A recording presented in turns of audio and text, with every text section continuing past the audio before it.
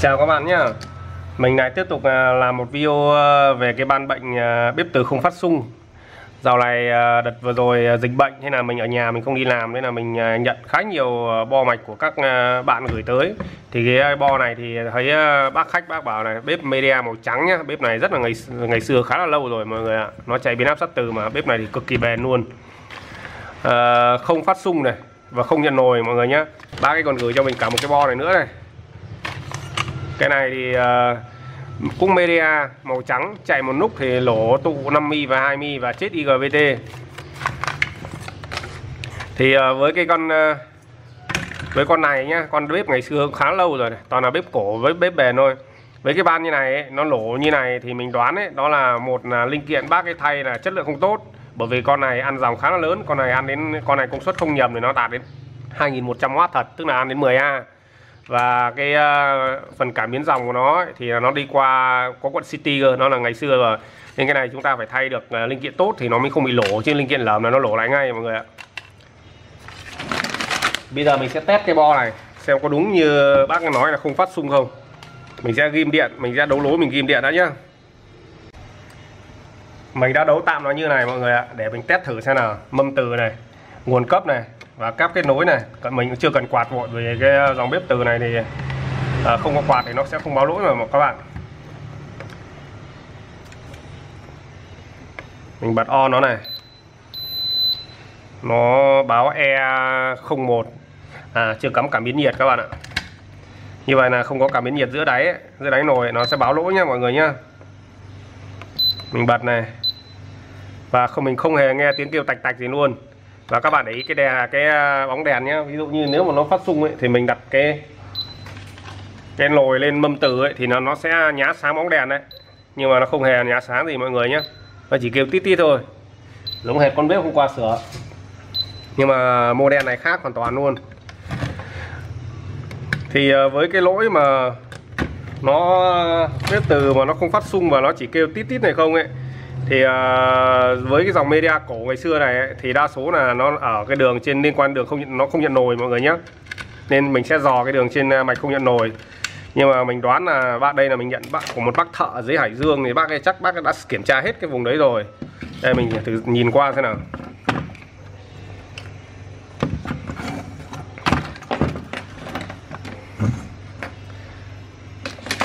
Tóm lại là con IC uh, ờ, vi xử lý. Con này thì uh, bo con vi xử lý nó nằm trên vỉ mặt nhá nên cái cáp của nó cái lối xuống bo uh, công suất là rất là nhiều nhá. Con IV, IC vi xử lý này đang uh, phát hiện ra lỗi do đó mà nó không phát xung nữa nên nó chỉ có sinh ra tiếng kêu tít tít thôi. Thì uh, mình sẽ kiểm tra um, cái phần nhận nồi. Đó, tức là cái uh, con IGBT này chưa nhận được xung uh, kích nên nó chưa hoạt động. Thì mình sẽ kiểm tra nhìn con này như phần công suất chưa bị hỏng này. Thấy bác cái đã kiểm tra tụ tụ 50 tụ 0,27 con này tụ 0,27 thôi. Với con này mình đoán là con này hình như là nó chỉ là 1008 thôi mà hoặc 1009 thôi.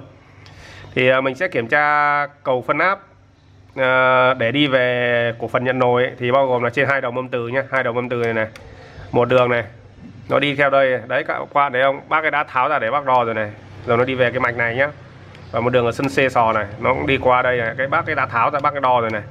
Rồi nó đi về cái cái vẩy vì đứng này nhá cái vỉ dưới đứng này là mọi phản hồi điện áp nhận nồi nó đi về vỉ dựng đứng này.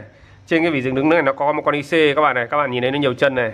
Con IC này 14 chân, đó chính là con LM339 đấy. Một số bếp thì là nó nằm, con LM339 chân cắm hoặc chân dán, nó nằm dưới bên này luôn.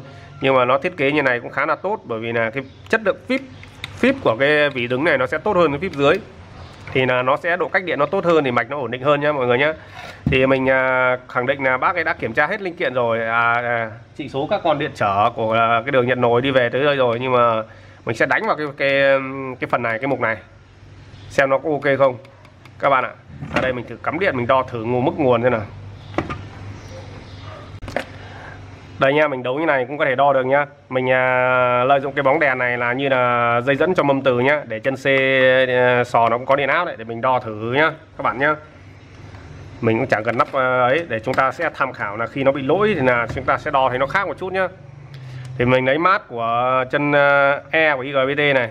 Thì à, uh, 300V của phần công suất có rồi này 293 nhá. Tất nhiên là sang C sò cũng thế nhá bởi vì sò sò chưa mở mà và cái đường à, một đường nhận biết à, điện áp à, của cái phần nhận nồi ấy, là ở cái đường 300V ấy nó đi qua con điện trở to này thì nó sẽ đến đi tới chân này nhá để nó lên con LM339 ấy vào một cổng in của LM339 ấy. À, nó sẽ nó đã có điện áp nhé là 3,5V kìa. Và một cái đường nữa là C sò này nó đi qua con điện trở này. Thì ở bên này nó có điện áp rồi này các bạn thấy không? Sau đó nó chia thành hai nhánh. Chia thành hai nhánh này này thì tương đương hai nhánh này nó sẽ đi tới uh, cái cái bo đứng đấy và nó hoàn toàn mất điện áp nhá. Nó, mình thấy điện áp đường này hơi thấp. Nó sẽ đi vào nhánh này là một này.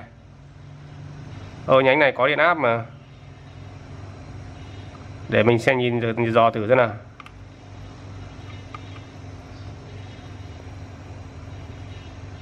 Không có các bạn ạ. Mất này các bạn thấy không? Nhánh này mất này. Và nhánh này mất này nó tại C sò nó có hai nhánh khác nhau các bạn ạ. À. nó đi vào hai cổng chân in của cái con à, hai cổng khuếch đại thuật toán khác nhau còn L39 như vậy là ở đây nó mất điện áp nhé, thì cái mất điện áp này thì có khả năng đấy thì là do điện trở trong ba con điện trở này. Một con đi đây đây nhá sau đó được uh, san ra thành hai con này chia thành hai nhánh này có thể là điện trở này lỗi nhá. Nhưng nhưng mà may mắn thì điện trở lỗi nhưng mình khẳng định là con này khả năng điện trở không lỗi đâu. Bởi vì là bác thợ này bác là thợ kiểu gì bác đã, đã kiểm tra rồi bây giờ mình sẽ đo thử luôn nhé mình không chơi giờ tháo hút nữa mình sẽ cắt mạch sau đó mình mình hàn lại nhá. Cắt ra đây một tí nữa mình lại cạo cạo nó qua này này. Không mình lại hàn lại là ok nhá các bạn nhá để chúng ta sẽ xem là là mấy con điện trở này nó có đứt nó có đứt không mà nó mất điện áp nhá. Đây mình con này thì mình thấy bác ấy hút thì mình cũng hút hở con này đi. Nó có hai nhánh nên phải tách cả hai bên mà.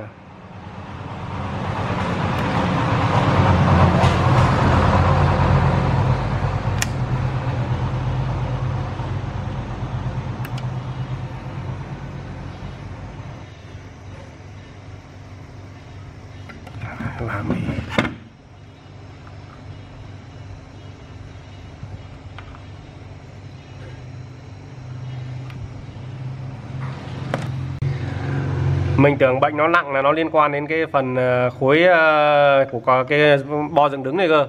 Nhưng cuối cùng hóa ra khá là đơn giản. À, lỗi điện trở các bạn ạ. Và mình sẽ nói kỹ cho mọi người con điện trở này nó lỗi kiểu gì nó lỗi theo cái kiểu là nó không chết hẳn mọi người nhá. Mà lúc thì nó vẫn có dòng điện vẫn đo nó vẫn có trị số lúc thì nó lại mất mọi người ạ. Nó nguyên nhân ấy là do cái cái cái chân nó lâu năm quá nó là chân mũ này bằng sắt nó đã bị dỉ vòng xung quanh này mọi người này dẫn tới là nó xảy ra trường hợp như thế có thể là bác thợ trước là bác đo thì lúc cái bác đo thì nó vẫn ok. Nhưng mà lúc vừa nãy mình đo nó có điện áp đấy nhưng mình thấy điện áp nó yếu sau đó là à, nó bị mất ấy, thì mình mới đoán được là do con điện trở này nhá. Mình đã cà hàn lại cái này để cho nó ngấu ra cho nó bong hết cái lớp keo để để mình đo cho dễ nhá. Vừa nãy đo nó nó keo nó không không không không ờ, nó có cái lớp keo nên đo nó chập chờn nha và mình đã thay con điện trở khác mình sẽ đo cho mọi người tham khảo này để chúng ta sẽ thấy là nó khi nó ok nó sẽ như nào nhá. Mình ghim điện này mình lấy mát này và như vừa nãy là cái chân này là chân bình thường này. Chân này là chân nó lấy cái điện áp ờ, từ cái phần đầu mâm từ của cái dương 300V nhé mọi người nhé. Nó được 3,5V này. Và vừa nãy mình đo đây nó chỉ được có 2V thôi bởi vì con điện trở nó, nó lỗi đấy mọi người ạ. Bây giờ đo được được là 145V này. Và sau đó nó sẽ chia thành hai nhánh. Thì ờ, có một nhánh này thì ờ, nó chỉ khoảng không phải khoảng một vô vô này thôi. Nhánh này nhánh này liên quan đến đến bảo vệ điện áp hoặc cái gì nó đi qua một cái cổng khác không phải cổng nhận nồi mọi người nhé nhưng mà cái nhánh này là nhánh nhận nồi này. Nó đã được 4V này và cái 4V này nhá mọi người nhá nó sẽ đi tới tới đây luôn này. Như vậy là ở chế độ chờ như này ấy, là điện áp đưa về cái cổng ờ, từ cái điện áp từ chân C sò đưa về nó nó luôn cao hơn so với điện áp đưa ở cái đường 300V nhá. Do đó mà ICV ờ, con M39 nó đang nó ở trạng thái là ở chế độ chờ như này ấy, là nó biết là đang chưa có nồi và đang chưa chạy đang không hoạt động nhá. Khi mà chúng ta đặt nồi lên và điều kiện như thế này thì là cái cổng khách đại của LM39 đưa lên cho vi xử lý để vi xử lý ở trạng thái là là mạch điện ok để nó có thể phát được ra xung xung thăm dò nhé và khi có xung thăm, thăm dò nó đưa đến ấy, thì IGVT sẽ mở. Mở thì là, là nếu mà có nồi ấy, thì là cái chân C sò nó điện áp nó sẽ bị tụt thấp. Thì dẫn tới là cái 4V này này nó tụt xuống còn 3V này chẳng hạn mọi người nhé nó sẽ thấp hơn cái bên B cộng này là 3,5V vậy bên này sẽ thấp hơn là 3V mình giả sử thôi để cho chúng ta sẽ hiểu ấy là khi đó thì là biết từ sẽ nhận được nồi và nó sẽ phát xung mạnh mọi người nhé ba này, này khóa này hóa ra mình cái tưởng là nó bị lỗi uh, trên cái vỉ uh, dựng đứng này cơ cuối cùng nó này là chỉ là điện trở thôi. Nhưng điện trở đó ở đây con điện trở nó đây mình sẽ đọc cho mọi người này. Điện trở này nó có chỉ số như này nhá. Đỏ vàng đen tức là 240 240 và cam nữa tức là nhân với 10 mũ 3 ấy, thì tương đương với là 240 kilo nhé còn màu lâu này chỉ là sai số thôi nhá. Mọi người nhá có một cái điều lạ ấy là trong ba con điện trở gần nhau này này. Thì có hai con là 470 ờ, kilo ohm. Chỉ có riêng cái cái con ở giữa đấy thì nó lại là là là 240 mọi người ạ. Con này này vàng này. À, tím này đen này tức là 470 và cam nữa là 470 ohm nhé và mình đã thay bằng ờ, con 220k tất nhiên 220k thì nó có mất thiếu mất ờ, uh, à, 20k các bạn ạ. Và mình đã đấu đối tiếp một con uh, uh, 22k đây nữa. Như vậy là nó sẽ ok nhá. Tương đương nó sẽ là 242k thì vẫn là ok 240k nhé mọi người nhé đây và bây giờ mình sẽ test cho mọi người à, khi mà cây mạch nhận nồi nó ok ấy, thì nó sẽ nó sẽ phát ra xung và chúng ta sẽ thấy được nhá. Cái mạch này thấy bác ấy còn à, đang động đến cả cái cái cái vùng uh, vùng VR cả miếng dòng các thứ nữa. Tí nữa mình sẽ cho ăn bắt nồi và mình tra chỉnh dòng về vị trí chuẩn. Như vậy là ban khá là dễ nhưng mà do con điện trở nó chết kiểu chập chờn lúc đo được lúc không mọi người ạ.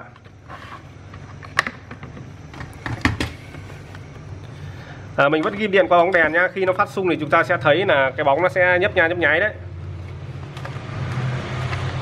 Mình ghim điện này. Và mình bật nhá và mình nghe đấy tiếng nó kêu tạch tạch rồi. Nó nghe cứ tạch tạch tạch tạch cơ. Và bây giờ mình đặt nồi lên này. Các bạn để ý cái bóng nhá.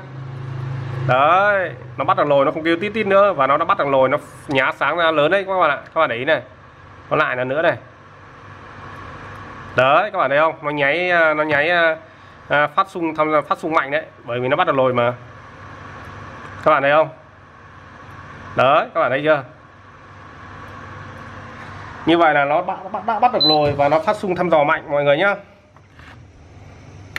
Bật lại này khi không có xung thì nó chỉ phát những cái xung uh, ờ, tít tít thôi và cái biên độ xung nó nhỏ mọi người ạ. Ờ, nhiều uh, trường hợp các bạn uh, thông báo cho mình biết ấy là bếp từ nó phát ra nó có sinh ra tiếng kêu tạch tạch như này tạch tạch nhưng mà đặt nồi lên nó không phát xung mạnh và không bắt bắt vào nồi ấy. thì có thể là cái cổng khuếch đại thuật toán trong con LM339 này bị lỗi nhá bị lỗi theo cái kiểu ấy là nó không chuyển được trạng thái khi bị sụt gây sụt áp khi có mâm từ nó gây sụt áp ấy, nó không chuyển trạng thái do đó mà ờ, ở chế độ chờ thì là nó vẫn ờ, mà su này vẫn nhận thấy là bình thường nhưng mà khi nó chúng ta bật ấy, nó phát xung rồi ấy, mà cái con là mà cái trong